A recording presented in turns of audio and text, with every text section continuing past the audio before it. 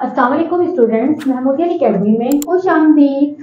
आज हम उर्दू में लेवल टू में सीखेंगे एक नई चीज़। तो जनाब, आप जब खाते हैं कोई चीज़ लाइक आपके पास टॉफ़ी होती है तो आप पूरी खाते हैं। लेकिन कभी कभी आप शेयर करते हैं ना किसी से, अपने फ्रेंड से या अपनी बहन से या भाई से तो आप उसको, उस टॉफ़ी को पूरी में से क्या कर देते हैं? आधी कर देते हैं। तो वो क्या हो जाती है? आधी हो जाती है, जब हम एक चीज़ पूरी होती है तो उसको जब हम दो हिस्सों में कट कर देते हैं तो वो क्या बन गई? आधी, जैसा कि सेब पूरा होता है, और जब मम्मा हमें देती हैं खाने के लिए पीसेस करके तो पहले वो उसको आधा करती हैं, आधा करती हैं, फिर उसकी मजीद पीसेस बनाती हैं। तो आधे का तो कॉन्सेप्ट आपको पता है ना कि कोई चीज़ पूरी होती है, जब हम उसको डिवाइड करते हैं तो हम उसको दो हिस्सों में डिवाइड करते हैं तो आधा करते हैं। तो इसको हम कहते हैं किसी चीज़ को जब आधे हिस्से में करते हैं तो इसी तरह दूसरे के हिस्सों को हम जो आधा करते हैं तो वो उसकी क्या बन जाती है? आधी शक्ल बन जाती है। आपको पता है ना कि बे की पूरी शक्ल क्या होती है?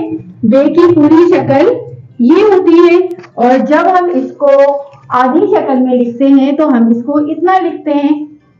हम इसको इतना कर देते हैं, जैसे लाइक यूँ समझें कि हम इसको ऐसे कर देते हैं। अगर हम इसको पूरा लेकर जाएँगे तो ये पूरा यहाँ तक आ जाएगा। लेकिन हमने इसको यही रोक दिया तो ये क्या कहलाती है इसकी? आधी शक्ल और आधी बहुत इंपॉर्टेंट होती है ये। आधी क्यों ज़रूरी है हमें सीखना? इसलिए कि जब हम नए नए अल्फाज बनाते हैं तो उसमें हम आधी अशकाल का इस्तेमाल करते हैं। जैसे कि आप बे से बाजा लिखेंगे तो पूरा बे थोड़ी लिखेंगे। जब हम बाजा लिखते हैं तो हम बे की आधी शक्ल लिखेंगे और फिर उसको मिलाएँगे किससे? बा। बे, अलिफ बा तो देखिए आधी शक्ल किससे मिल रही है? अलिफ से। तो इसलिए आधी शक्ल सीखना बहुत ज़रूरी है, क्योंकि हम नए अल्फाज लिखने होते हैं, हमें उर्दू के बहुत ज़्यादा चीज़ें लिखनी होती है तो हमें आधी शक्लें आएँगी, आधी अशकार आएगी तो हम वो सब चीज़ें बहुत आसानी से लिख सकेंगे। तो इसीलिए हमें आगे अशकाल जो है, हम बच्चों को सिखाते हैं और हम खुद भी सीखते हैं, क्योंकि जब हमने छोटी क्लासेस में ये सब चीज़ें पढ़ी थी, क्योंकि छोटी क्लासेस में ही ये बेस बनती है तो बच्चों को सिखाते हैं, ताकि जब वो बड़े हो जाए तो उनको आदि अशकाल के ज़रिए वो अल्फाज बनाना सीखें। तो मैं आज आपको आधी अशकाल में देखें। ये पहले देखिए बे पूरा होता है लेकिन जब हम इसको आधा लिख देते हैं तो ये बे की आधी शक्ल बन जाती है। पूरा बे नहीं लिखा यहीं पे इसको रोक दिया और उसके नीचे एक कुत्ता लगा दिया। तो ये बन गया बे, बे की आधी शक्ल। इसके बाद आप देखिए पे पे की आधी शक्ल हो गई है और पे के नीचे कितने नुक्ते होते हैं? तीन नुक्ते ते ये ते की आधी शक्ल है और ते के ऊपर कितने नुक्ते हैं? दो नुक्ते ये सब चीज़ें मैं आपकी रिवीजन करवा रही हूँ। नुक्तों की आइडेंटिफिकेशन बहुत ज़रूरी है और साथ साथ हम आधी अचका भी सीख रहे हैं। और ये ते की आधी शक्ल है और ते के ऊपर क्या बना हुआ है? तो बनता है और ये से की आधी शक्ल है और से के ऊपर क्या बनता है? तीन नुक्ते बनते हैं। अब मैं एक दफ़ा आपको लिख के भी दिखा रही हूँ कैसे लिखना है। तो गौर से देखिए, जैसे हम बे बनाते हैं तो उसी तरह लेकर जाएँगे, लेकिन फिर बस हम उसको पूरा नहीं कंप्लीट करेंगे, यहीं पे रोक देंगे और ये इसकी आधी शक्ल बन गई और इसके नीचे हमने क्या डाल दिया? एक नुक्ता बा बिल्ली।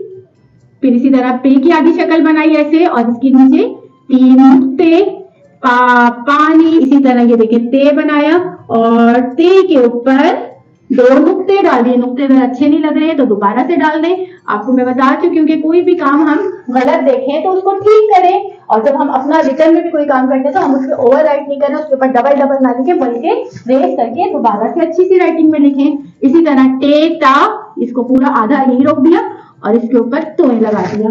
टा टा से टोपी, फिर सा समझ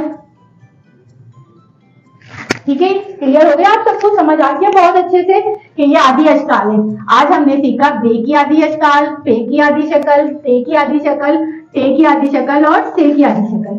अच्छा जी, बोर्ड पे आपको कुछ रूप नज़र आ रहे हैं जो यहाँ लिखे गए हैं। गौर से देखिए जो रूप लिखे गए अलिफ है अलिफ, मदा। दाल दाल। जाल, रे रे जे जे, तोए, जोए, वाओ, दो हमजा ये हरूफ तहजी के कुछ हरूफ यहाँ पर लिखे गए हैं और ये इसलिए लिखे गए हैं कि जब आप पूरी हरूफ तहजी की आदि अशकाल देखेंगे तो ये वो हरूफ है जिनकी आदि अशकाल नहीं होती है। और ये कितने हैं? फोर्टीन हरूफ है, चौदह हरूफ है जिनकी आदि अशकाल नहीं होती है। तो मैंने ये इसीलिए लिख दिया कि जब मैं यहाँ पे लिखूँगी और जब हम इसके आगे पढ़ेंगे तो आप लिखिएगा दाए दाए आगे लिखेंगे, हम एक नए रूप से शुरू करेंगे। क्योंकि से के बाद क्या आता है? के बाद तीन के है खे के बाद दाल आएगा तो आप देखिएगा हम दाल की आधी शक्ल नहीं बनाएँगे। तो ये मैंने हरूफ इसीलिए लिख दिए हैं ताकि आपको पता रहे कि ये हरूफ की, इन हरूफ की आधी अशकाल नहीं होगी। तो आज हमने जो किया है, बे, पे, ते, टे, से, इनकी आगे अजकाल की आपने घर पे प्रैक्टिस करनी है। इसके वर्कशीट आपको वेबसाइट से मिल जाएँगी। वहाँ से आप आसानी से इसका, अपना काम कंप्लीट कर सकते हैं। प्रिंट आउट लेके ठीक है? आपको सारा मटेरियल वेबसाइट से मिल जाएगा। तो इसके साथ ही मैं इस लेसन का एंड करती हूँ और इस उम्मीद के साथ कि आपने ये आधी अजकाल को बहुत अच्छे से समझा होगा। आधी अजकाल का मकसद क्या है कि आपको ग्रुप बनाना सीखने हैं आगे ग्रुप बनाने सीखने के लिए आधी अजकाल बनानी आनी चाहिए, ठीक है? अपना बहुत सारा ख्याल रखिएगा। इसके साथ ही मैं ज़्यादा चाहूँगी, लेकिन जाने से पहले आपने बिल्कुल नहीं भूलना है। वीडियो को लाइक करना चैनल को सब्सक्राइब करना और शेयर करना। अल्लाह हाफिज।